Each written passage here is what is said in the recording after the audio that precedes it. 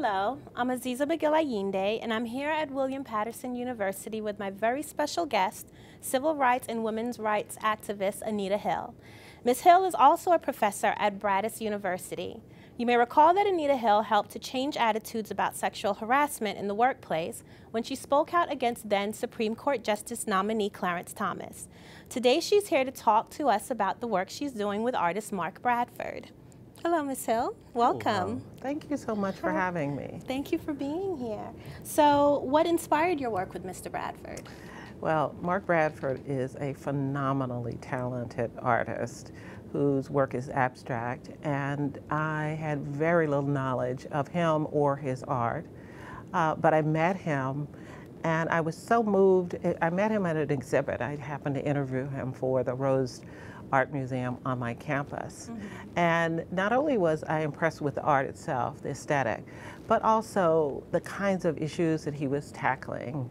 Um, issues of economic inequalities in poor uh, uh, communities of color, mm -hmm. uh, AIDS throughout the country. And we got into a conversation about the connection between policies and art and the human condition. Okay. And that's how we got started. And the projects have evolved, uh, and now we're working together to restore women's voices in social movements and the progress that we've made toward equality. Do you feel that there are other platforms, like the media, for instance, where some of that, the voices of women can be seen more? Well, absolutely. There continue to be platforms. One of the things that I've learned from Mark as well is that his, uh, his, his, his work transcends media. Uh, it can go from paintings to uh, uh, films, videos. I mean, he's just a, an incredible artist, and but also just the entertainment industry itself can do a much better job of having women not only as actors, but as producers of material, as crafters of the stories that are presented on the screen. Um, in fact, I just recently written an op-ed piece about the problem uh, with women being represented in the production of uh, Hollywood films and the, and the things that go to into the theater. I haven't I haven't tackled television yet, mm -hmm. but um, I think that that's also an area where we need more of our voices. We need more of our interpretations of life stories. Well, that work is extremely exciting, but I want to bring it back a little bit, uh, a little bit to when you testified against then Supreme Court Clarence Thomas. What are some of the policy changes that you have seen as a result of your testimony? Well, almost immediately after the hearing, uh, even within months of the hearing, there was a piece of legislation that was, is now called the Civil Rights Act of 1991 that had been debated in both houses of the, uh, of the Congress in the U.S., and the Congress, the House of Representatives, as well as the Senate. Uh, President George Herbert Walker Bush had threatened to veto it if it were ever passed. But in the wake of the hearing, because of the energy created around the hearing, that law was passed. And women, for the first time, were able to recover fully when they had been discriminated against, whether it was harassment or other forms of workplace discrimination. People didn't know that there had been limits on the amount that women could actually get for what they had suffered uh, from discrimination.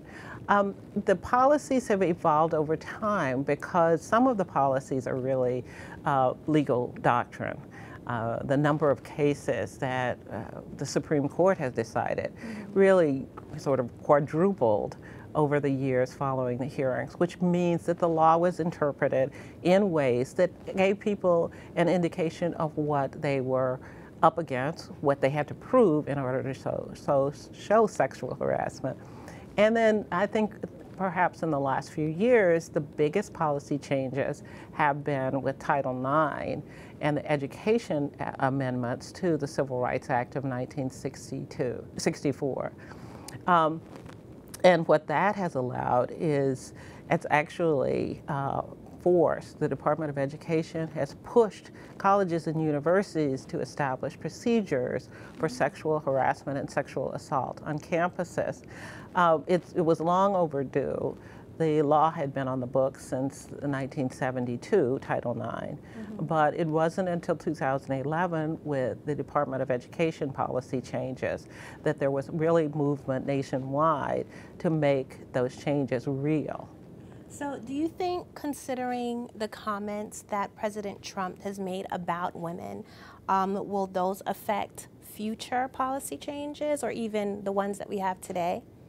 Uh, I think that the comments have an impact in and of themselves. Part of what was happening throughout the decades before 2011 when the uh, Department of Education stepped up.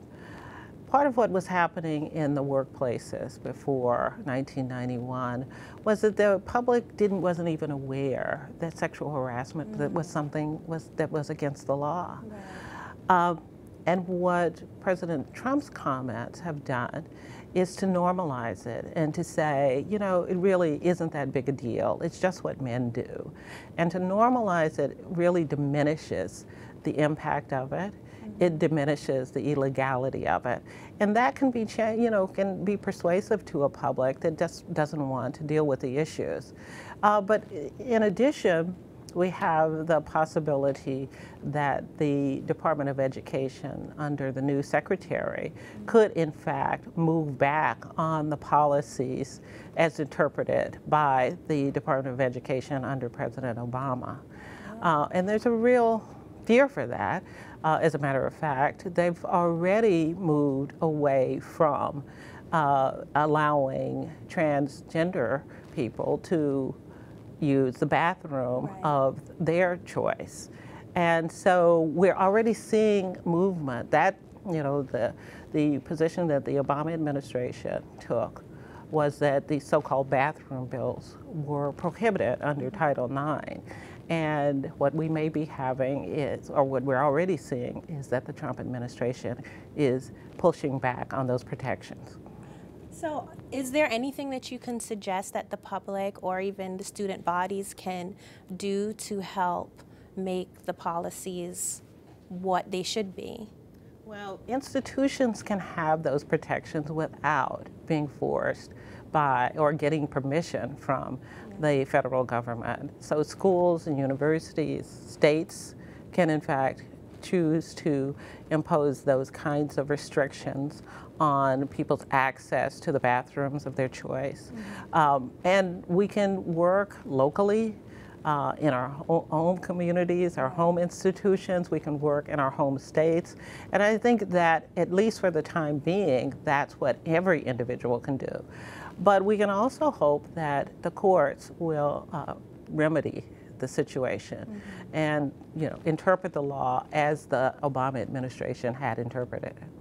Well, Ms. Hill, I want to personally thank you for all the work that you have done and your bravery in speaking out where it needs to be spoken, where a lot of women don't have a voice. And I really appreciate you coming here to William Paterson and sharing with us all the work that you have done. Well, I thank you for your bravery.